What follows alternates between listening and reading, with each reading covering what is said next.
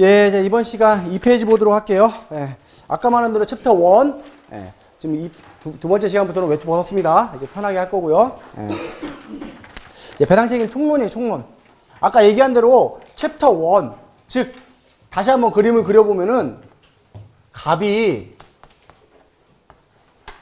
을에게 어떠한 행위나 행동이겠죠.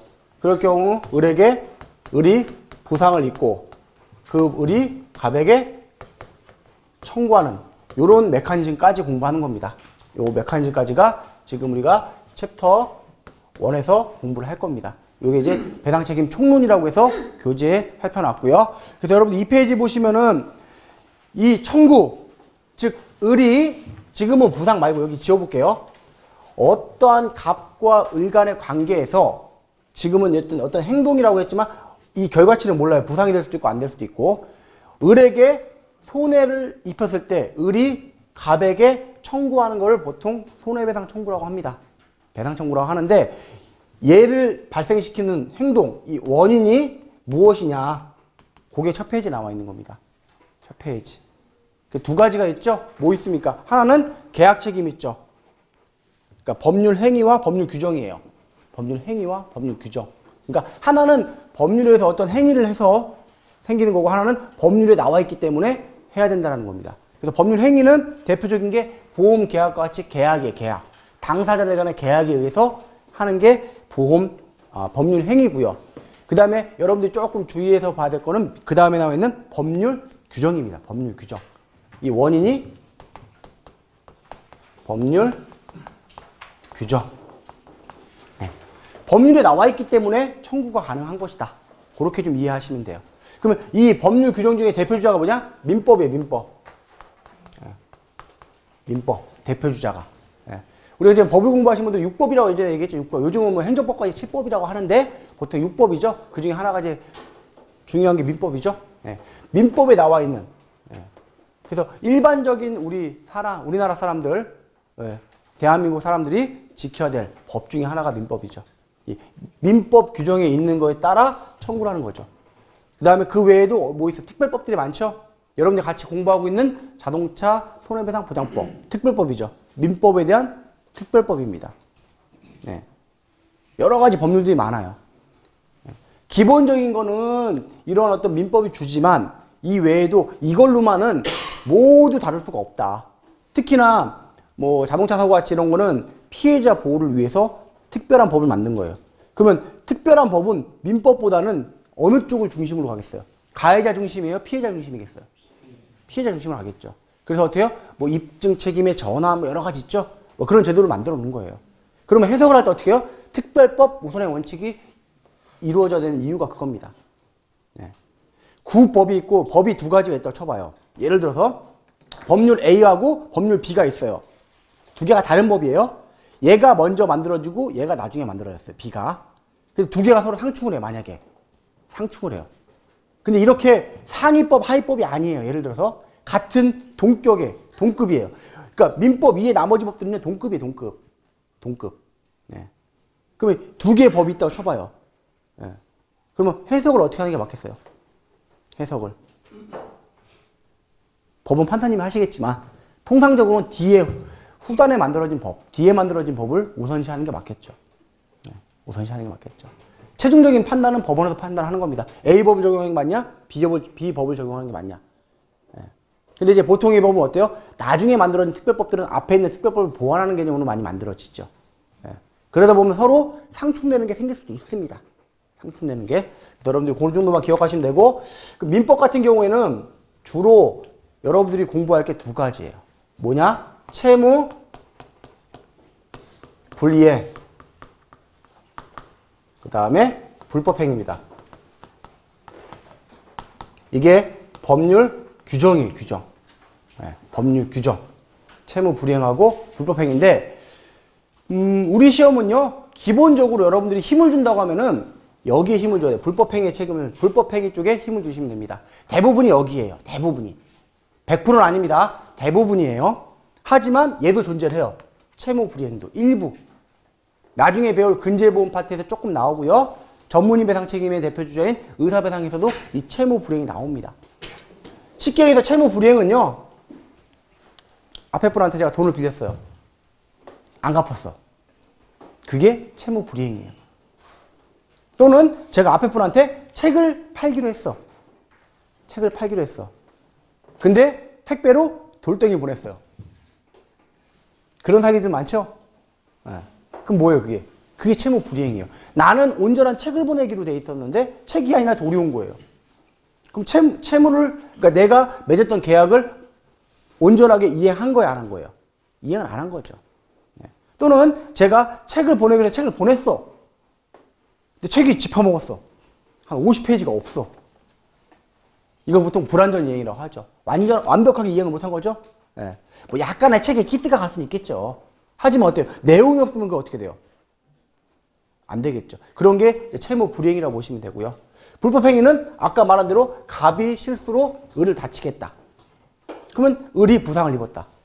이런 관계가 불법행위예요. 불법행위. 그러니까 제가 만약에 어, 물건을 던지는 거는 법을 위반한 게 아니죠. 제가 이거 던지는 거 법 위반한 거 아니죠. 저 이거 갖고 여기 막 던져갖고 누구 맞춰봐요. 그건 안 되죠. 예. 폭력이 돼버리잖아요. 폭력이. 그, 그걸 법을 위반한 거 불법행위거든요. 그런 차이는 좀 있습니다. 그래서 여러분들이 먼저 이 두 가지라는 걸 좀 기억을 해주시고요. 그 내용이 2페이지에 나와 있는데 2페이지에 먼저 채무 불이행부터 나와 있는데 거기 채무 불이행 박스 볼게요. 요건 있죠. 요건. 요건. 먼저 뭐예요? 채무자에게 채무가 있고 이를 이행하지 않을 것. 즉 계약을 맺어가지고 갑과 을 간에 계약을 맺었는데 갑은 이행을 했어요. 뭔가 이행을 했어요. 그럼 을도 이행을 해, 이, 을이 이행을 안 한 거예요. 그게 첫 번째입니다. 채무가 있고 이를 이행하지 않을 것. 그 둘째, 채무 불이행에 대한 고의나 과실이 있고 그러니까 일부러 안 갖거나 뭐 실수로 안 갖거나 고의 과실이 되는 거예요. 예, 고의 과실이 없으면 어때요? 아니라는 거죠. 세 번째, 채무 불이행이 위법해야 돼요. 그러니까 우리가 대표적인 거 그거 있죠. 도박빚. 도박빚. 도박을 할 걸 알고 빌려줬으면 그 돈 받아요, 못 받아요? 못 받죠? 그게 이겁니다. 세 번째. 예, 위법할, 위법하지? 그러니까 위법할 것, 채무 불이행이 위법할 것. 예. 근데 그 사람은 안 갚는 게 위법이 아니에요. 도박이니까. 예. 안 갚는 게 위법한 게 아니에요. 알고 빌려갔으면 은 못 받아가요, 원래. 예. 네 번째로 이래서 손실이 생겨야 돼요. 이네 가지 요건이 있는데 요건 정도만 알아두시기 바라고요. 여러분들 두 번째에서 고의 과실의 존재 있죠. 여기다 똥 옆에다가 하나 써놓으세요. 뭐다면 누가 입증 책임. 예, 입증 책임. 이 채무 불이행에서는요. 고의나 이 과실에 대한 입증 책임을 누가 진다? 여기서 여러분들이 채무자와 채권자를 좀 잘 아셔야 돼요. 채권자와 채무자. 채권자는 권리를 행할 수 있는 사람이죠. 권리를 주장할 수 있는 사람이 채권자죠. 채무자는 뭐예요? 채무를 이행하는 사람이에요. 그러니까 돈 빌, 빌려준 사람, 빌린 사람이에요. 근데 이, 이때의 고의 또는 과실의 입증 책임은 누가 진다? 채무자가 진다는 거예요. 내가 고의, 고의 또는 과실이 없다라는 걸 입증해야 돼요. 그거 기억을 해 주십시오. 일반적인 손해배상 청구 관련돼서는요, 권리를 주장하는 자가, 권리를 주장하는 자가 입증을 해야 되거든요. 우리 알고 있는 일반 불법행위는요. 그러니까, 을이 갑에게 청구를 할 때는 갑의 고의 또는 과실이 있다는 걸 을이 입증해야 돼요. 권리를 주장한 자냐, 피해자. 그럼 여기서는 뭐예요? 채권자와 채무자 간의 권리를 주장한 채권자란 말이에요. 이 사람이 주- 입증하는 게 아니라 거꾸로 채무자가 나는 없다. 없다라고 입증해야 되고 체크를 좀 하십시오. 그거 잘못하면 헷갈려요. 예, 일반적인 경우에 권리 주장한 자니까 이것도 채권자가 입증하는 거 아니냐라고 착각할 수도 있다는 거죠. 하지만 이건 뭐예요? 채무자가 거꾸로 내가 없다라는 걸 입증해야 돼요. 그럼 봐봐요. 이 네 개 중에 이건 5호가 있는 AND에 AND. 1, 2, 3, 4가 다 합쳐져야 돼요. 그럼 하나라도 빠지면 어떻게 돼요? 충족을 못 하겠죠. 그럼 여러분들 봐봐요. 1, 2, 3, 1단, 1단계가 되면 2단계 가고 2단계가 되면 3단계 가고 3단계가 된 다음에 4단계 가는데 한 단계가 빠졌으면 어떻게 돼요? 끊어지는 거죠, 가운데가. 그러면 채무 불이행에 대한 요건이 성립이 안 돼요. 요건이 성립이 안 된다는 얘기는 무슨 얘기냐? 효과를 주장할 수 없다. 즉 얘를 못 한다고 청구를 청구를요. 그래서 요건들은 항상 요건이 충족이 되면은 이로 이로 인한 효과가 발생이 됩니다. 효과가. 근데 이 요건 보통 뭐세 가지 네 가지씩인데 다 뭐다? and 조건이 and 조건. and 조건. 즉 채무자가 입증하지 못하면 채무자는 고의나 과실이 있는 거예요. 됐죠? 이해되시죠? 그런 차이, 차이가 있습니다. 채무 불이행을 좀 알아두시고 그 밑에 나오는 게 그러면 채무 불이행의 유형. 이 채무 불이행이 과연 몇 가지 유형이 있냐? 세 가지 있다고 했죠? 첫 번째가 뭐예요? 이행 지체죠. 돈 안 갚는 거예요. 이행 지체. 갚을게 갚을게 해놓고 안 갚는 거예요. 이행 지체. 그럴 수 있죠? 오늘 갚을게 내일 갚을게 모레 갚을게 계속 지체하는 거예요. 두 번째가 뭐 있습니까? 이행 불능. 예를 들어서 제가 써놓은 게 있지만 가수 조용필 씨가 오기로 돼 있어. 우리 클럽에. 근데 조용팔님이 온 거야. 노래 불렀어. 계약을 이해한 거예요? 나는 조용필 주겠다고 천만 원 줬는데 왜 조용팔이 와서 천만 원 받아가냐고. 에? 안 되잖아요. 이행 불능이에요, 불능. 불완전 이행도 아니거든요. 아예 불능이에요. 그리고 도자기 2조 백자, 조던 백자를 매매하기로 했어. 딱 그거 하나야. 나는 그 물건의 가치. 그러니까 우리가 볼 때 동일한 백- 백자가 여러 족이 여러 개가 있을 수 있겠죠. 하지만 어때? 각각의 상태가 조금 조금씩 다르죠. 지금 공장에서 찍어내는 게 아니라 보면은 보관 상태나 여러 가지에 따라 가격이 등락을 하잖아요. 나는 분명히 그 A라는 그 특정 물건을 조건으로 계약을 맺었는데 잘못해서 깨져버렸어요. 그럼 미안해 본드 붙여줄게 해서 본드 붙여갖고 줬다고 해봐요. 그럼 이게 이행한 거예요? 네. 그럼 바로 그러죠? 멱사, 멱살 잡겠죠? 일로 와, 돈 내놔 하겠죠? 그게 이행 불능이에요, 불능. 할 수가 없는 거야, 이거는. 네. 그 다음 세 번째, 불완전 이행. 불완전 이행. 이행을 했는데 온전하게 이행하지 못한 거예요. 아까 얘가 책을 얘기했지, 책을요? 책을. 책을 얘기했잖아요. 책을 매매하기로 해서 책을 팔았는데 예, 돌덩이 보낸 건 아니에요. 책을 보냈어. 근데 어떻게 50페이지 찢어먹은 책을 보낸 거예요. 그럼 어떻게 돼요? 다시 온전한 책을 보내주면 되죠? 예. 그게 불완전 이행입니다. 달걀 100개를 납품하기로 했는데 100개 납품했어. 10개가 깨졌어요. 그럼 어떻게 돼요? 10개 빨리 바꿔줘야 되겠죠. 쌩쌩한 달걀로 바꿔줘야 되잖아요. 예, 그게 이제 불완전 이행이었고 이 채무 불이행의 종류는 이 세 가지가 있다 정도만 알아두시면 됩니다. 이행 지체, 불능, 불완전 이해가 있다. 예. 그 다음에 두 번째 나오는 게 이제 불법행위 쪽이에요. 불법행위 쪽인데 요거는 다음 챕, 그 2절에서 좀 자세하게 할 건데 여러분들 그것만 기억하시면 돼요. 이 불법 행위 할 때 불법 행위라는 거는요. 법의 근본이 어긋나는 거예요. 그래서 그 근본 목적에 어긋나는 행위를 그냥 불법 행위를 한다 정도만 알아두시면 됩니다. 예. 그러니까 법률에 정해져 있는 내용들을 위반했을 때 위반했을 때 불법 행위다. 그렇게 생각하시면 쉬워요. 쉽게 생각해서. 법에서 하지 말라는 거 했거나 하라는 거 안 했거나 이런 게 불법 행위라고 보시면 됩니다. 예. 저희 집에 보면은 예, 제가 그 감독자 책임을 해야 될 녀석이 하나 있어요. 아직. 예, 나중에 좀 배우겠지만 예, 자녀가 둘 있는데 한 명은 초등학생, 한 명은 중학생이에요. 예, 중학생 아들내미는 저보다 커요. 집에 들어가면 깜짝깜짝 놀래. 길쭉한 녀석이 누워있어갖고. 예, 깜짝깜짝 놀랍니다. 예. 근데 이제 걔는 이제 우리가 원하는 대로 이제 제가 가- 감독 책임을 직접적으로 지진 않겠지, 이제. 나이가 있으니까. 근데 아직 초등학생은 감독 책임을 지겠죠. 예. 근데 그 아이를 제가 관리 감독을 해야 되는데 못했다고 해봐요. 그것도 불법행위예요. 법에서 뭔가를 해야 돼.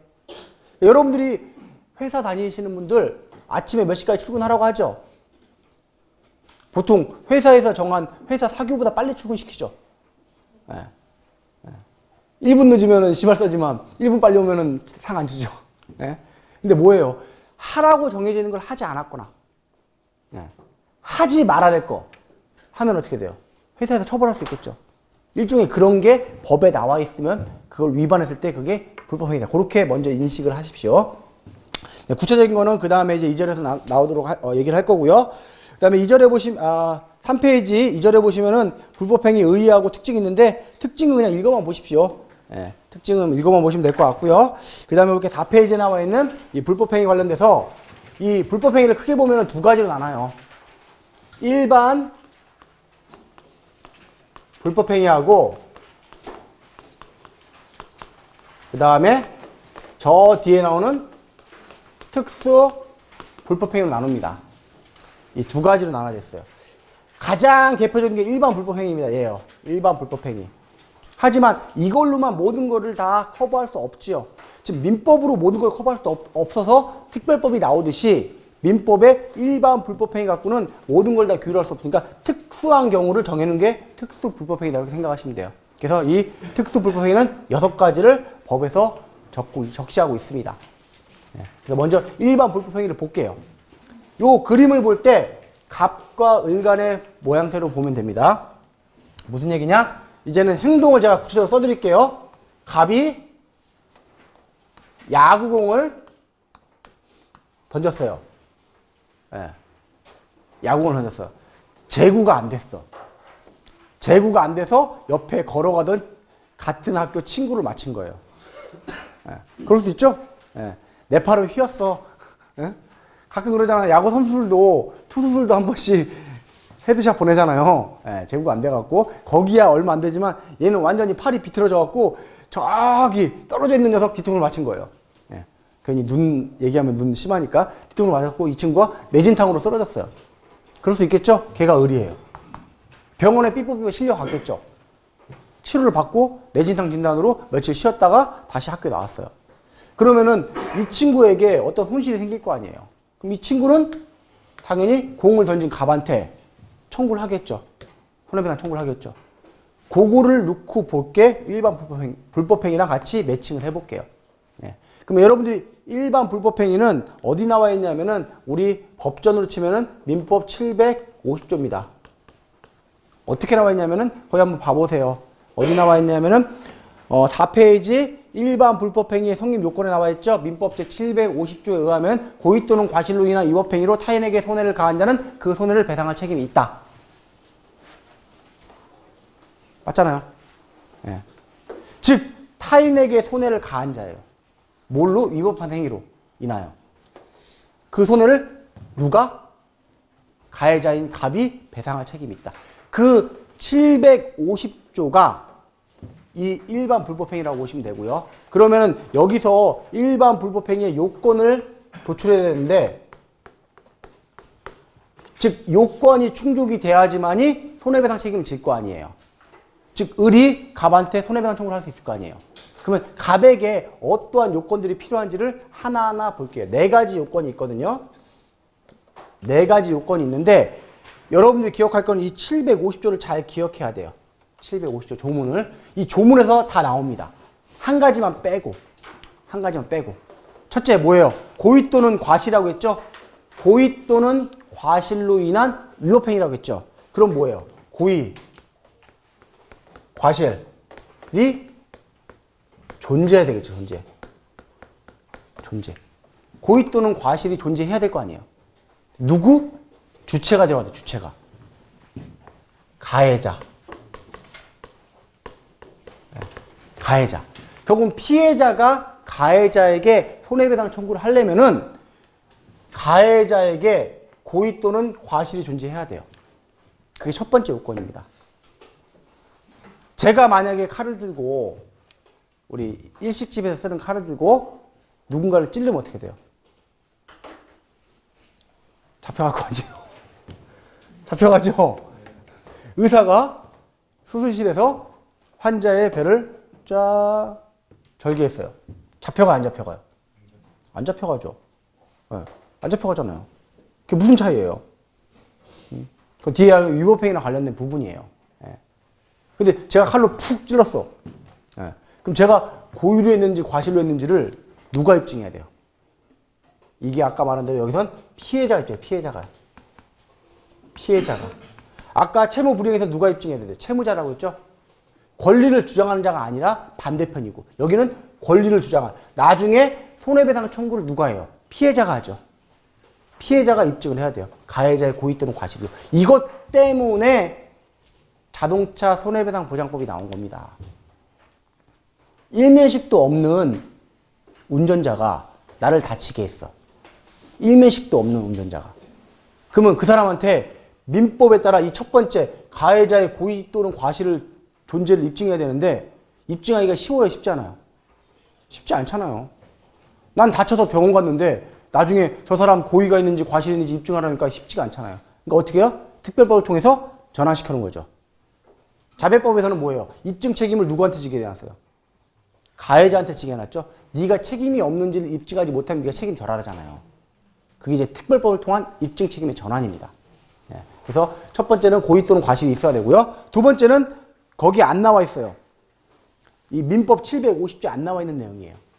누구? 가해자의 책임 능력이에요. 어? 아니 그러면은 쌤 분명히 민법 750조를 근간으로 해서 요건이 나온다면서요. 맞죠? 나머지 써볼게요. 세 번째가 뭐예요? 위법성이죠. 위법성. 행위가 위법. 그 다음에 마지막에 손해. 이렇게 돼 있죠. 민법 750은 고의 또는 과실로 인한 위법 행위로 타인에게 손해를 가한 자는 손해를 배상할 책임이 있다. 어? 다 나오는데 얘만 안 나와. 책임 능력만 안 나와요. 분명히 750조를 하나하나 하나 구분하면 된다고 했는데. 근데 여러분들 여러분들 제가 여러분들 이름을 알아요. 여- 제가 만약 여러분들 이름을 알아요. 예, 이름을 안다고 쳐봐요. 그러면은 아, 아버님 혹시 조남이 어떻게 되시냐고 물어보면은 여러분 어떻게 얘기하겠어요? 성을 얘기해요 안 해요? 상대방이 내 성을 알아. 우리나라는 아버지 성을 따라가잖아요 기본적으로요. 그러면 상대방한테 얘기할 때는 아버님 함자 얘기할 때 성을 얘기해요 안 해요? 안 하죠? 이게 무슨 얘기냐면은 이런 모든 사람들은요 책임 능력이 있다라고 보는 거예요. 당연한 얘기니까 민법 750조에 구현 설명을 안 한 겁니다. 모든 사람들은 책임 능력이 있어요. 모든 사람들은 이름 대부분의 사람들은 그러니까 이 책임 능력에 대해서는 민법 750조에 별도로 언급하지 않아도 필요하다는 겁니다. 그렇게 이해하시면 돼요. 근데 여기서 기억할 거는요. 책임 능력이라는 거는 봐봐요. 가해자의 책임 능력이에요. 가해자의 책임 능력. 가해자가 책임 능력이 있는지 없는지를 누가 입증해야 될 것 같아요, 여기서요. 누가? 증명을 누가 해야 될 것 같아요? 피해자가. 제가 아까 뭐라고 했어요? 이런 모든 사람들은 책임 능력이 있다라고 했죠. 그렇기 때문에 이거는 누가 한다? 가해자가 뭘 입증한다? 나는 없어요. 요걸 입증해야 돼요. 없어요를. 없어요를 입증하지 못하면은 뭐다? 2번은 당연히 오케이라는 거예요. 아까 말했잖아요. 모든 사람은 책임 능력이 있다라는 게 대전제라고요. 대전제. 그러면 그 대전제를 뒤엎으려면은 없음을 입증해야죠. 누가? 가해자가. 그래서 민법 750조에 별도로 언급하지 않는 겁니다. 아셨죠? 그 다음에 이제 세 번째, 행위가 위법해야 돼요. 즉, 법을 위반. 아까 잠깐 얘기했지만, 제가 칼로 사람을 해하는 거하고, 의사가 수술을 하기 위해서. 예. 뭐, 예를 들어서, 골절 입었어요. 근데 이게 폐쇄성 골절이야. 근데 분쇄 골절이라고 할 수 없이 내고정을 해야 돼. 그럼 할 수 없이 생 살을 찢어야 되죠? 그래야지 내고정물을 집어넣을 거 아니에요. 아무리 조금이라도 집어넣어, 뭐, 살을 전혀 절개하지 않고 집어넣을 수 없잖아요. 예. 그럴 때 그 의사가 하는 행위는 법을 위반하는 게 아니겠죠. 예. 여기서 말하는 행위는 법을 위반. 예. 위법한 행위가 된다. 네 번째는 그로 말미암아 이런 행위로 생긴 손해 있죠? 손해. 손해하고는 인과관계가 있어야 되는 거예요. 인과관계. 예. 그 인과관계만 논해도 한 시간 논해야 돼요. 여러분들 손, 손해사정 이론 시간에 배웠겠지만 최초 조건설부터 시작해서 뭐 최유력 조건설, 상당 인과관계설 뭐 여러 가지 설도 있잖아요. 근데 여러분들 기억할 건 딱 필요 없고 상당 인과관계설입니다. 상당 인과관계설. 그러면은 상당 인과관계를 어떻게 설명할 것이냐? 이해는 이렇게 하시면 돼요. 제가 광화문에 나갔어. 광화문에. 광화문에. 네. 그래서 지나가는 사람들을 붙잡고 물어봤어요. 저기 갑이 야구공을 던져가지고 잘못해가지고 을을 맞춰가지고 을이 부상을 입었는데, 예? 그래서 을의 치료비가 100만 원 나왔다. 아, 100만 넘으면 과한 한 50만 원 나왔다. 그러면 그 50만 원이나 손해가 저 공을 던진 행위 때문에 발생된 게 맞습니까? 물어봤어요. 지나가는 사람한테. 그랬더니 대부분 음 맞아. 끄떡끄떡해요. 근데 예, 사이코패스 한 명이 지나가. 관련 없어. 이런 사람 한 명 있다 쳐봐요. 예. 100명에게 물어봤는데 99명은 있대. 한 명은 없대. 그럼 우리는 그 없는 사람의 얘기를 들어서 이건 없다라고 얘기를 할까요? 꼭 다수결이 옳다는 얘기는 아니에요. 예. 근데 여기서 말하는 상당 인과관계는 일반의 경험칙에 비추어서 그러한 행위가 있었을 때 그러한 결과가 발생할 것이다라고 추정이 되면은 서로 간에 관련이 있다라고 보는 게 상당 인과관계예요. 약간 모호함은 있습니다. 일반의 경험칙이라는 게. 그러니까 경험칙이라는 거는요. 시대가 바뀌면 바뀔 수도 있습니다. 최근에 대법원 전원합 올해 대법원 전원합의체 우리 그 가동연한 바뀐 것도 마찬가지입니다. 시대가 바뀌어서 바뀐 거잖아요. 과거에는 60세가 정답이었어. 지금은 이제 뭐 65세가 정답이라고요. 맞잖아요. 시대가 바뀌면 조금씩은 바뀔 수 있지만 그게 180도 뒤집어지진 않겠죠. 예. 평균 연령은 올라가는데 기대 연명은 올라가는데 갑자기 판결은 역행해. 60세가 55세로 내려오진 않겠죠. 예. 예, 그런 걸로 보시면 돼요. 그래서 이 일반 불법행위는 기본적으로 이 네 가지 요건이 어, 어떤 조건? and 조건이에요. and 조건. 그래서 여러분들 기억하실 거는 이 네 가지를 기억을 하시고 예, 부연 설명할 겁니다. 누가 입증 책임 있는지도 기억을 하셔야 돼요. 누가. 어떤 항목은 누구에게 있고 어떤 항목은 누구에게 있다. 정도만 기억을 좀 해주시면 됩니다. 이제 하나하나 살펴보도록 할게요. 먼저 가해자에게 고의 또는 과실. 예, 고의 또는 과실 존재를 한다는데 여러분들 그럼 이 고의하고 과실하고 실수잖아요, 과실은. 근데 이거를 우리가 따질 때 좀 나누어요. 어차피 불법행위는 똑같아요. 고의나 과실이나. 예. 하지만 보험에는 조금 달라지죠. 보험은 일부로는 제가 물어주면 안 된다고 했죠. 아까 잠깐 얘기했죠. 일부로. 예. 그래서 고의를 나눠요. 뭘로 하면 확정적 고의와 미필적 고의로 나눠지고요. 과실도 인식 유무에 따라 인식이 있냐 없냐에 따라 이 네 가지로 나눠집니다. 그럼 제가 이걸 한 번, 한 번에 설명을 드릴게요. 한 가지 사례를 들어서 이 네 가지를 어떻게 구분하는지 설명을 드릴게요. 나머지 여러분들이 복습하시면서 책을 한번 읽어보시면 되고요. 우리 그 고양이 할머니 사건 아시죠? 도대체 이게 언제적 얘기인데 아직도 몰라요? 예? 아니 아파트 옥상에서 아이들이 돌 던져갖고 할머니 맞아갖고 돌아가신 거 있잖아요. 고양이 할머니. 고양이 밥, 준- 밥 준다고. 예. 그놈의 썩을 놈들 때려 죽이고 싶어. 저도 여기 상처가 좀 났어요. 예, 고양이 때문에. 예. 예. 근데 그 사건을 예를 들게요. 그 사건을. 아파트 옥상에서 아이들이 맨날 고양이 밥 주니까 고양이가 똥 싸고 고양이가 특히나 이제 발전기 나오면 막 애기 울음소리 내고 막 시끄럽고 하니까 그 싫은 거야, 아이들이. 얘를, 얘, 얘, 얘. 싫으니까 할머니를 다치게 하려고. 예.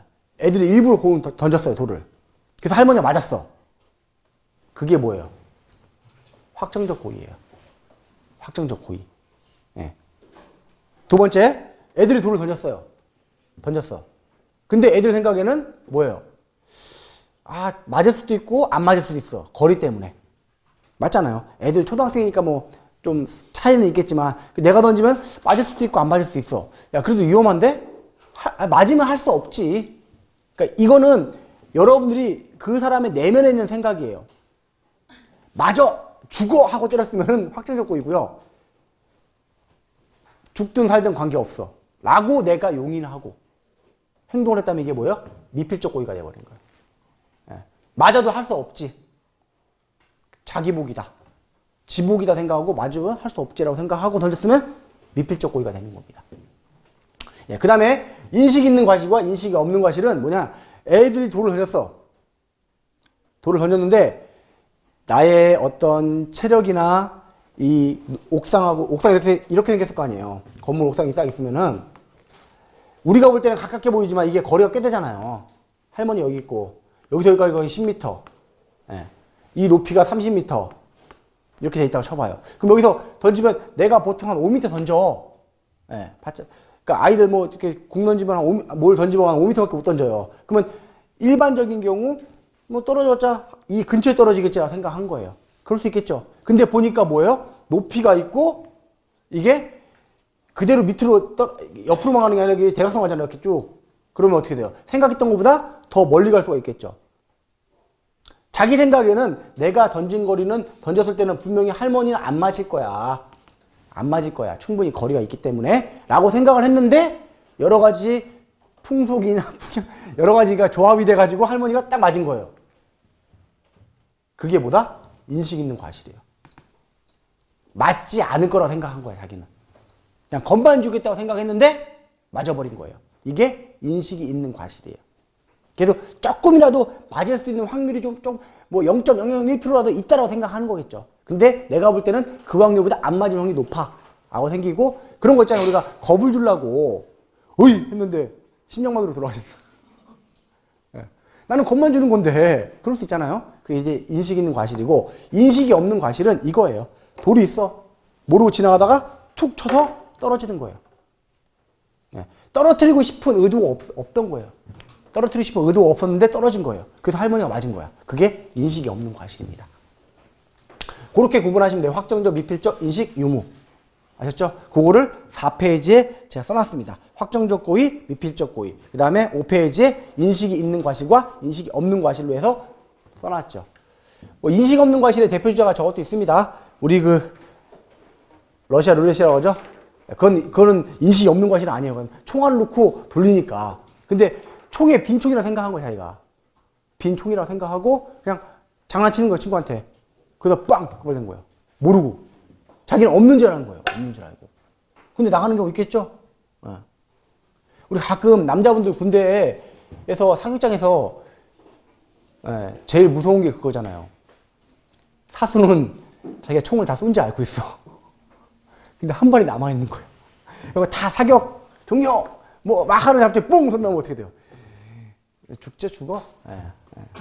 제가 유일하게 군대에서 아이들을 구타한 게 사격장입니다. 예, 예. 사격장에서 구타를 해갖고, 예. 왜 그러냐면 그때 그 사선 통제 수들이 적어가지고, 예, 이리 뛰고 저리 뛰고 하는데, 예, 꼭 발들려고 하는데 꼭 손들이 있어, 손들. 그럼 무지, 무지하게 뜨는 거 팹니다. 다른 데 몰라도 위험하니까. 네. 서로 간에 위험해, 서로 간에요. 서로 간에. 그래서 그런 경우들이 있는데, 모르고 없, 없다고 생각하고 자기는, 자기는 없다고 인식을 해버린 거야, 벌써요. 다 쌌다고 생각한 거예요. 근데 모르고 격발된 거예요. 뭐 그런 것도 인식이 없는 과실이죠. 자기는 없다고 생각했어. 만약에 있을지 모른다고 생각했으면 인식이 있는 과실이에요. 할 수 없지. 네, 그렇게 좀 이해를 해주시면 되고 그 부분 한번 여러분들 4페이지, 5페이지 읽어가지고 확정적 고의부터 인식이 없는 과실까지 좀 알아두시기 바라고요. 하지만 보험관계에서는요. 여기서 끊겨 여기서요. 여기서. 고의는 미필적 고의도 다 고의로 취급하기 때문에 실제 나중에 보험관계 가서는 미필적 고의도 면책입니다. 왜? 약관상 고의를 담보해 준 경우에는 있을까요? 없을까요? 있어요. 있어요. 네. 네. 보증보험. 보증보험은 고의를 안 보지. 돈안 갚는 것도 뭐예요? 고의잖아요. 어. 네. 아주 예외적인 경우가 있어요. 근데 그건 누구를 보호하기 위한 거예요? 네. 피해자인 채권자를 보호하기 위한 거잖아요. 그래서 채무자를 보호하는 게 아니라 채권자를 보호하기 위해서 보험 운영하다 보니까 그런 경우 있는데 일반적인 보험들, 우리가 공부하고 있는 일반적인 배상 책임들은 고의를 면책합니다. 그렇게 적어 놓으십시오. 예, 항상 뭐든지 없어, OX 물어봤을 때요. 한쪽으로 쏠리면 큰일 납니다. 시험에서는 쏠려도 돼요. 시험에서는. 하지만 실무에서는 한 번씩 고 0.1%들이 문제 될 때가 있어요. 예, 그러니까 그렇게 알아주시기 바라고 가끔 1차 문제 낼 때, 1차 시험 문제 나올 때 그 0.1%가 답을 두 개 만들 때가 있습니다. 예, 모든이라는 단어는 잘 써야 돼요. 모든이라는 단어를. 출제위원들이 모든이라는 단어를 잘못 써버리면 중복 답안이 나올 수가 있어요. 그렇게 말하는데 0.1%의 확률이 있는 거라도 모든이라고 하면 안 되잖아요. 모든은 오리입니다. 100이에요, 100. 네. 세상에 100이라는 거는 대부분 존재를 잘 안 해요. 그래서 보통은 모든이라는 단어가 들어가면은 틀린 오답일 확률이 99.9%예요. 네. 근데 0.1%는 또 그게 아닐 수도 있어요. 네. 그래서 그 기억을 해주시면 되고요. 그 다음에 이제 5페이지 중간에 보면은 이제 고의과실 입증 책임 누가 진다? 권리를 주장하는 피해자가 진다. 그렇게 정리를 해두시면 되고 그 다음에 이제 어, 입증 책임의 전환 좀 해놨죠? 그건 아까 말한 대로 자매법 같은 경우가 일반 민법하고 달리 책임을 전환시켜놨다. 이렇게 이해해 주시면 되고요. 두 번째 책임 능력 볼게요. 제가 책임 능력은 제가 좀 말을 좀 빨리 합니다. 이해해 주세요. 예. 그래서 인강 넣는 분들은 1.2배속 이상은 못 돌릴 거예요. 제가 말이 빨라가지고 1.2배속 이상 올려버리면 거의 2배속 수준으로 나오기 때문에 예. 이해해 주시고 책임 능력은 1은 모든 사람은 있다라고 했죠. 다 있는 거예요. 그러면 뭐다? 책임을 지지 않기 위해서는 누가? 가해자가. 나는 책임 능력 없어요예요. 이거를 입증을 해야 돼요. 네. 나는 거기 나오는 대로 밑에 보시면은 뭐 예를 들어 미성년자예요. 책임 능력 없는 미성년자예요. 네. 또는 다음 페이지 보시면 난 심신 상실자예요. 라고 입증을 해야 돼요. 네. 그러면 and 조건 벌써 2번이 끝나버리면 그냥 3번부터 4번은 할 필요 있어 없어요? 논할 필요 없겠죠? 근데 논해야 돼요. 논해야 돼요. 왜 논해야 되냐면은 잘 봐봐요. 야, 이 썩을놈이 자식이 책임 능력 없다고 내 청구 어떻게 해? 나를 뭘로 보호받을 거예요? 그래서 우리가 특수 불법행위에는 이런 일반 불법행위의 책임 능력과 관련돼서 보완을 해놨습니다. 책임 무능력자의 감독자. 야, 너 가. 애는 가. 애는 가고 어른 데리고 와. 예, 당신 가고 가- 그 어, 법적 대리인 데리고 와. 이렇게 하는 거예요. 대신 오라는 거죠. 그래서 그래도 애는 그래서 검토하는 겁니다. 없어도 나머지 3, 4가 이루어지면 은 뭐예요? 너는 가고 가해자 너는 가고 너를 관리 감독하는 사람 대신 와. 그게 이제 나중에 배울 특수 불법행위로 넘어갑니다. 예. 그래서 제가 저희 아들내미 초등학생 때 제가 그 얘기를 많이 해요. 아들한테 딱 한마디만 합니다. 학교 가서 맞고면 죽어. 학교 가서 맞고면 죽어. 그렇게 얘기를 해요. 그러니까 친구들하고 뭔 일 있으면 맞고 오지 말라는 얘기예요. 때리고 오라고. 예. 때리고 나도 맞고 오지 말라는 얘기잖아요. 맞고 오면 나한테 죽어 너는. 어? 예. 그렇다고 아버지가 때리라고 하는 건 아니죠. 예. 그러니까 누구를 때리라는 얘기는 아니에요. 적어도 네 몸은 네가 방어하라는 얘기예요. 근데 이거를 오해되면 때리고 오라는 걸로 오해될 수 있죠. 그래요. 그럼 내가 때리고 오라고 했다 쳐요. 그래서 저희 아들이 만약에 다른 친구 쳐- 때렸다고 쳐요. 예. 그러면은 아들은 책임 능력이 없고 아버지인 저는 고의야. 맞잖아요. 때리고 오라고 했으니까. 예. 그럼 보험 치료 될까요? 안 될까요? 보험 치료 될까요? 안 될까요? 나중에 뒤에 가서 보험 얘기하겠지만 보험 치료 돼요? 왜 그런지 아세요? 저희 애를 저 혼자 만들었어요?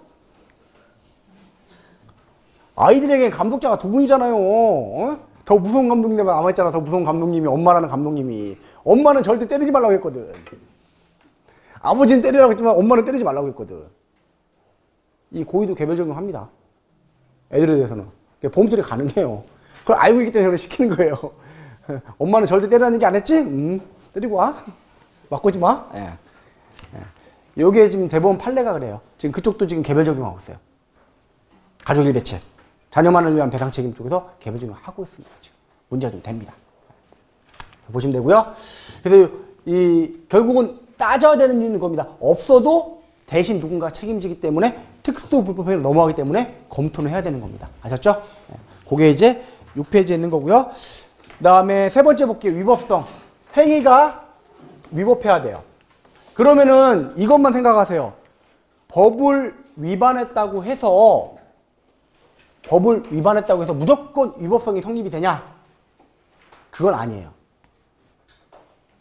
대표적인 거 공릉동 살인 사건 아시죠? 2015년도에 공릉동에서 어떤 집에 군인이 휴가 나온 군인이 술을 먹고 술을 먹은지 모르겠다. 예, 침입을 해서 결혼할 여자를 살해를 했고 그 광경을 목격한 남자와 격투 끝에 그 남자가 군인을 칼로 찔러서 살- 그 죽게 만든 그런 사건이 있습니다. 그게 작년인가에 나왔죠. 최종적으로 검찰에서 나왔습니다. 법원도 아니에요. 검찰에서. 경찰에서는 정당방위 살인으로 검찰에 송치를 했고요. 검찰에서 공청회와 여러 번의 수사와 여러 가지 공청회를 통해서 뭘로 확정됐냐면 정당방위 살인으로 인정해서 기소를 하지 않았습니다. 법원 판정이 아니에요. 법원 파- 법원에서 판결 내린 게 아니에요. 검찰이 기소하지 않은 겁니다. 정당방위 살인이기 때문에. 그러면은 형법에서 정당방위예요. 민법도 우리가 법을 위반했지만 그 위반한 법을 없애는 사유 중에 하나가 정당방위예요. 즉 나의 생명을 지키기 위해서 누군가의 생명을 지키기 위해서 어떤 행위를 했, 다고 하면 그건 위법성이 없어진다는 얘기예요. 이거를 보통 조각이라고 해요. 조각. 조각 사유. 그러면은 여러분들이 어떻게 기억하시냐면 초등학교 때 또는 국민학교 때 그 비누 갖고 빨래 비누 갖고 혹시 토끼 만들어 보셨어요? 예. 많이 만들어 토끼 만들다 보면은 가끔 실수를 해가지고 얘가 예. 그, 그 얘보다 이게 좋겠다. 음, 어, 모, 최근에 끝난 모 드라마에서, 예, 머리 자르라고 준 돈을, 머리 자르라고 준 돈을, 예, 갖고 뭘 꼬치를 하먹어버린 거예요. 그러니까 내일 두발 검사인데 머리는 잘라야 돼. 그러니까 집에 있는 언니들이 A가 자르고 하니까 이게 삐뚤삐뚤해. B가 자르고 하니까 삐뚤삐뚤해. 나중에 이거 어떻게 앞머리 거의 안 남아. 예. 그럼 어떻게 돼? 잘못해버리면 다 깎고 깎고 이만한 덩어리를 깎기 시작하면 어떻게 돼? 나중에 되면은 밑에 가루만 남을 수 있죠. 그렇게 생각하시면 돼요. 이 조각사유라는 거는 이 덩어리를 다 깎는다고 깎아내면 이유라고 보시면 돼요. 그 나중에 뭐예요? 바닥에 가루만 남는다. 그럼 형체가 없어졌잖아요. 위법성이라고 하는 형체가 없어져 버린 거예요. 그럼 이게 세 번째 위법성이 존재해야 하네요. 할 수가 없잖아요. 형태가 없어졌으니까. 예. 결국 물이 상태가 변화돼서 기체화 됐어요. 수증기가 됐어요. 그럼 여러분들 그걸 물이라고 해요? 화학식으로는 물이겠죠? 아, 죄송합니다. 아, 갑자기 뭐 화학식 나와서. 예. H2O 화학식으로는 물이잖아요. 하지만 어때요? 우리가 볼 때는 그걸 물이라고 표현하지 않죠. 개념적으로. 수증기라고 표현해요. 다른 상태로 바뀌어버렸잖아요. 그러니까 지금 이 위법성이란 덩어리가 어떤 사유 때문에 깎이기 시작했어. 깎고 깎고 깎고 깎고 깎고. 예. 계곡에 있는 바위들 보면 어떻게 돼요? 동글동글하죠. 물살에 계속 깎이고 깎이고 그 바위가 100년 후, 200년 후, 300년 후, 천, 뭐, 뭐, 어마어마, 어마무시한 시간이 지나면 어떻게 돼요? 그 바위는 없어질 수 있습니다. 왜? 깎여 내려가니까. 그런 사유가 조각사유라고 보시면 돼요. 조각사유. 위법성은 존재하지만 그 위법성을 없애는 사유다. 그렇게 생각하시면 됩니다. 위법성 조각 사유는. 그래서, 어, 그, 보시면은, 음, 6페이지, 7페이지에 보면은요, 형법에서는 총 다섯 가지 정도를 나누고 있습니다. 정당 행위부터 해서 피해자 승낙까지 다섯 가지 정도를 나누고 있는데, 우리 민법에서는 크게 두 가지가 있어요. 정당방위하고 긴급피난 이 두 가지를 위법성 조각사유로 따지고 있습니다. 근데 형법에서 정하고 있는 것들도 준용될 수는 있으니까 그렇지만 민법에서 법으로 명시한 거는 두 가지다라는 거 기억을 좀 해두시고요. 그리고 그 위에 보면은 뭐 위법성을 판단하는 기준이 있잖아요. 예, 요거는 여러분들이 결과 불법론하고 행위 불법론이 있는데 쉽게 생각해서 한마디로 이거 생각하시면 돼요. 결과, 그러니까 결과치만 본다라는 게 결과 불법론이에요. 어떠한 결과치가 없으면은 위법하지 않다는 얘기예요. 즉 미수범은 처벌할 수 없는 그런 문제에 도달합니다. 미수라는 건 뭐예요? 실패잖아 실패 결국. 결과치가 안 나오는 거잖아요. 살인 미수 죽였어요 못 죽였어요? 못 죽였죠. 그럼 처벌하지 않겠다? 말이 돼요? 안 되잖아요. 그런 어떤 문제점이 있는 게 결과 불법론이고 밑에 있는 행위 불법론은요. 그 행위 자체가 위법하면은 위법성 있다라고 보는 게 행위 불법론이에요. 그래서 대체적으로 행위 불법론으로 보고 있습니다. 그래야지만이 뭐예요? 미수범 처벌이 가능해요. 네. 그럼 그 밑에 보면 자기행위하고 부장행위, 부자기행위가 있거든요. 그래서 각주를 제가 해놨습니다. 각주 4번하고 각주 5번에 설명해놨죠. 쉽게 생각하시면 됩니다. 부작이라는 거는요. 해야 될 일을 하지 않은 거예요. 제가 오늘 여기 와서 강의를 해야 되는데 안 했어. 그럼 그게 부작이에요. 네. 제가 네? 오후에 강의하지 말아야 되는데 강의를 했어. 그게 뭐예요? 그게 자기에 의한 불법행위예요. 그러니까 하지 말아야 될 일을 했으면은 자기고요. 해야 될 일을 안 했으면 부작이에요. 요 개념만 잘 파악해 주십시오. 결국은 해야 되, 해야 되는데 하지 않았거나 하지 말아야 되는데 했을 때 그런 결, 그런 어떤 행위 과정에 의해서 그 행위 불법론을 설명을 하고 있거든요. 그래서 여러분들이 그 생각하실 때는 결과 불법론이 아니라 행위 불법론으로 생각하시면 됩니다. 학설은 나눠지지만 대부분 왜 미수범을 처벌하는 근거는 행위 불법론적인 부분이다라고 이렇게 정리하시면 쉬울 것 같고요. 6페이지에 보면은 밑에 보면은 정당방위하고 긴급피난을 제가 설명을 드려볼게요. 정당방위는 아까 공릉동 살인사건 갖고 말씀을 드렸죠. 공릉동 살인사건 그거 기억하시면 돼요. 그거는 형법적으로 처벌하지 않았습니다. 그러면은 그 군인의 가족이 그 칼을 찌른 남자를 상대로 민사상 손해배상 청구를 했다고 쳐봐요. 하지도 않았지만 그럼 뭐겠습니까? 형법에서도 정당방위예요. 그 민법에서도 정당방위가 될 확률이 높겠죠. 그럼 어떻게 돼요? 얘가 없어지겠죠. 위법성이 조각되면 은 결국은 불법행위 요건 1번, 2번, 3번, 4번 중에 3번이 없어지는 거죠. 그럼 그럴 경우는 어떻게 돼요? 요건이 성립하지 않는다는 얘기죠. 이해되셨죠? 네. 그래서 그게 이제 있고 그 밑에 보면 긴급피난 있죠? 긴급피난. 네. 제가 긴급피난은 예를 하나 드립니다. 제가 집에 딱 걸어가는데 저희 집 주택이에요. 주택이에요. 저 앞에서 송아지만한 개가 오는 거야. 강아지가 아니라 개. 예. 가끔 이제 소만한 개들도 있어요. 예. 송아지보다 큰 개들도 많아요. 수면 한 2m 되는 개들도 있대요. 예. 걔네들 입, 이빨 보면 얼마나 무서워요. 예. 물리면 죽어요. 그러니까 겁나니까 제가 막 목줄 풀려갖고 막 달려온다고 봐봐요. 그럼 여러분 어떻게 해요? 어디라도 숨고 싶죠? 그래서 쏙 숨었어. 옆집 문 열려 있길래. 그리고 문을 닫았어. 그때 옆집 아저씨가 내려와서 당신 뭐야? 예. 만약 주거 침입죄로 나를 경찰에 신고한다고 쳐봐요. 그 경찰이 왔어. 경찰이 왔어요. 딱 보니까 얘기를 들어보니까 큰 개 때문에 내가 이 집에 부득이하게 지금 몸을 피난한 거다. 예, 피난한 거다. 근데 CCTV를 돌려온 거 맞아. 제 얘기가 맞아요. 그럼 경찰은 저를 주거 침입죄로 입건할 수 있을까 없을까요? 못하겠죠. 근데 그렇게 피해 들어온 건 맞는데 마당에 있는 게 아니라 그 집 안방에 들어가 있다고 쳐봐요. 그럼 어떻게 돼요? 당연히 잡혀가겠죠. 예. 그러니까 과잉도 안 돼요, 과잉. 그러니까 긴급 피난하고 과잉 피항은 조, 조심해야 됩니다. 최근에 작년에 어떤 일이 있었냐면은 아, 작년인가요, 올해인가요? 이게 과잉 피항이냐, 긴급 피난이냐 갖고 옥신각신했던 사건이 하나 있어요. 어떤 사고냐면 이런 겁니다. 자동차 사고인데 이렇게 중앙선이 있고 여기 사람이 서 있다고 봐봐요. 갑자기 택시가 확 끼어들었어요. 끼어들었어. 그러니까 이 사람이 제동을 한 게 아니라 급하게 핸들 틀어서 사람을 치었어요. 이분이 사망하셨습니다.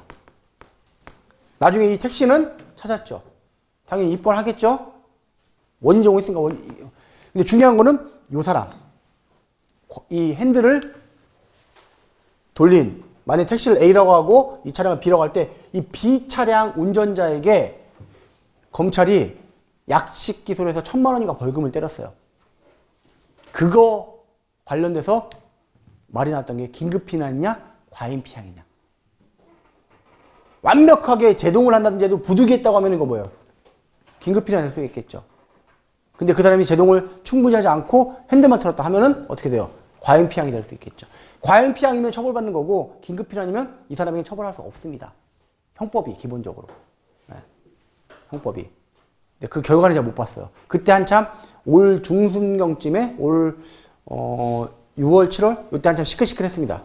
이게 법, 검찰은 긴급 피난이 아닌 과잉 피항으로 본 거예요. 그래서 약식 기소를 한 거고 판결이 어떻게 되는지 한번 찾아봐야 되는데 그런 예, 예들이라고 보시면 돼요. 긴급 피난하고 과잉 피항은요. 그래서 그게 이제 위법성을 조각한 사유고요. 7페이지에 보시면은 마지막으로 뭐예요? 손해 발생.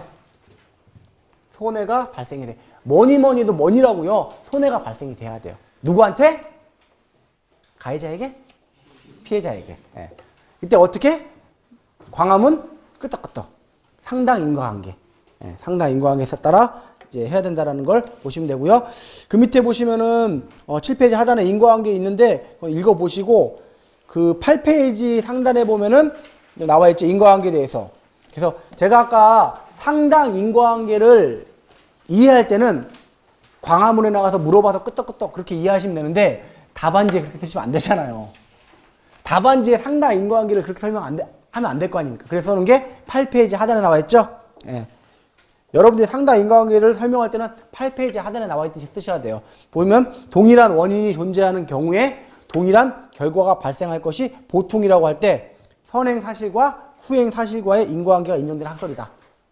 예. 요걸 달리 얘기하면은 일반의 경험칙에 비추었을 때 이러한 사실이 있을 때 이러한 결과가 있을 거라고 짐작이 되는 경우를 인과관계가 존재한다고 보는 게 상당 인과관계설이다. 이렇게 하시면 됩니다. 네. 여러분들한테 시험에서 이러한 케이스를 주고 이게 인과관계가 있냐 없냐를 물어보진 않습니다. 물어보진 않아요. 그러니까 이 정도만 정리하시면 된다는 거죠. 시험 문제에서는 이미 관계가 있는지 없는지를 명확하게 줄 거예요. 실제 우리 여러분들 어, 클레임 실무에서는 여러분들이 다툴 수가 있겠지만 시험 문제에서는 그런 부분에 대한 교통 정리를 해주기 때문에 고민하지 마세요. 그러니까 설명을 하라고 하면은 이런 어떤 어, 법률 용어를 좀 정확하게 써가지고 설명만 하시면 됩니다. 상당 인과관계는 이런 것이다. 예. 실제 사례 문제를 내갖고 여러분한테 물어볼 수는 없어요. 시험 문제이기 때문에. 예. 그렇게 해서 정리를 해주시면 되고 그 다음에 앞으로 손해 이제 chapter chapter 2에서 우리가 앞으로 이 손해를 할 때 뭐 손해를 나누는 방식은 여러 가지가 있습니다. 뒤에서 한번 나, 얘기를 하겠지만 뭐 2분설 있고 3분설 있고 뭐 그다음에 뭐 어, 통상 손해 적뭐 특별 손해 여러 가지 있는데 앞으로 이제 우리 과정 전체 어, 오늘부터 끝나는 그날까지는 세 가지 설 3분설에 따라 손해를 나눌 겁니다. 3분설에 따라 계산 문제 풀 때 모든 거는요. 그래서 적극적, 소극적, 정신적 이렇게 3분설에 따라 나눌 거니까 요거는 기억을 해두시고요. 미리 좀 얘기 드리면요. 대부분의 책들 보면은요. 얘가 먼저 나와요. 소극적이 먼저 나와요. 소극적, 적극적, 정신적 이렇게 나오는데 저는 위에서부터 나옵니다. 왜 그러냐면 설명을 해드릴게요. 적극적 손해라는 건요. 사고가 발생이 돼서 제 주머니에 아니, 돈이 없네. 제 주머니에 있는 돈이 나가는 게 적극적 손해예요. 나가지 말아야 될 때 나가는 거예요. 소극적 손해는 내 주머니로 들어와야 되는데 못 들어오는 거예요. 아셨죠? 네. 나중에 또 챕터 이 다음 주에 다시 한번 얘기 드릴게요. 그것만 기억하세요. 적극적인 거는 내 주머니에서 나가는 거다. 소극적인 건 내 주머니로 들어오는 게 막히는 거다. 그렇게만 기억하시면은 다음 주에 부연해서 어, 하나하나 손해배상금 뽑을 때 다시 한번 설명을 드릴게요. 그래서 한 가지 기억, 오늘 기억은 이거 3분설에 따라 앞으로 손해를 나눌 것이다. 정도 기억을 해두시면 됩니다. 그게 이제 8페이지 상단까지 나와 있는 내용이고요. 그 다음에 8페이지에 보시면은 하나가 더 있습니다. 뭐 있냐면은 우리가 불법행위 책임 관련돼서 지금 배운 이 일반 불법행위는요, 과실 책임주의예요. 과실 책임주의. 무슨 얘기냐면은 이렇게 한번 그림을 그려볼게요. 극단적인 그림이 될 수도 있습니다. 근데 이렇게 좀 모양새를 바꿔볼게요. A, B, C가 있다고 볼게요. A는 뭐냐면은 가해자, 가해자의 과실이에요. C는 아직 여러분들이 배우진 않았지만 피해자의 과실이에요. 우리가 말하는 보통 부주의라고 하죠. 피해자의 부주의. 예. 과실관계 아직 배우진 않았어요. 과실관계 나중에 얘기하겠지만 B는 불가항력이에요. 어떤 자연력이라는 이런 불가항력적인 요소라고 봐봐요. 그러면 이 전체를 합칠 때 이 A, B, C의 토탈이 100이에요. 100이 돼야 되겠죠? 어떤 사고가 발생했을 때에 관련자들의 책임을 다 쪼갰을 때 보면 100이 돼야 되겠죠? 이게 100이 안 되면 얘기 안 돼요. 예. 100, 100 이라고 딱 생각을 해야 돼요. A, B, C를 넣으면 100이에요. 그럴 때 과실 책임주의는 무엇을 물어주는 거냐면은 요것만 물어주는 거예요. A만. A만. 즉 가해자의 과실만큼만 물어주는 게 과실 책임주의입니다. 과실 책임주의. 두 번째 무과실 책임주의 있어요. 무과실 책임주의.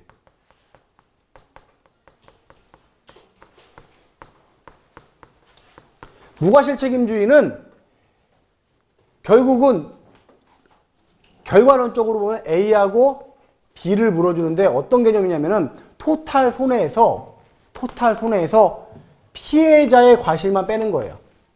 즉 불강력적인 요소를 누가 떠안으라? 가해자가 떠안으라는 얘기입니다. 가해자가 불강력적인 요소를 가해자 네가 책임을 지라는 겁니다. 그게 이제 무과실 책임주의고. 그리고 마지막으로 하나 더 있는 게 이제 보상 책임주의예요.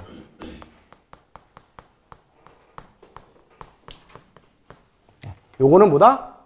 A, B, C까지 다 물어주는 겁니다. 토탈 손해를 다 물어주는 거예요. 보상 책임주의가. 네. 요거는 여러분들이 정리해 두셔야 돼요. 네. 요 과실 책임주의, 무과실 책임주의, 보상 책임주의에 대한 내용은 정리를 해 두셔야 돼요. 그리고 앞에 잠깐 얘기하면은 요 요건은 2014년도 기출문제거든요. 5점짜리로. 2014년도 기출문제니까 요건 네 가지는 반드시 알아두셔야 되고요. 그 다음에 추가적으로 좀 한다면은 요 위법성 조각 사유 정도는 알아두십시오. 예.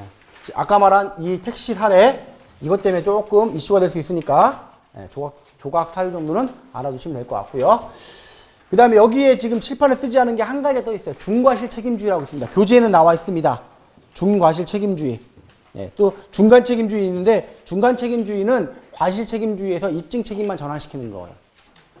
과실 책임주의랑 똑같이 자동차 손해배상 보장법 자배법은 뭐예요? 얘죠. 무과실 책임주의의 입증 책임 전환이고 그래서 조건부 무과실 책임주의라고 하잖아요. 예.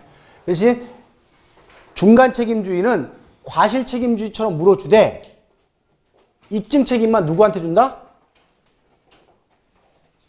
여기서 입증 책임 누구한테 있어요? 피해자한테 있죠? 가해자한테 넘기는 거예요.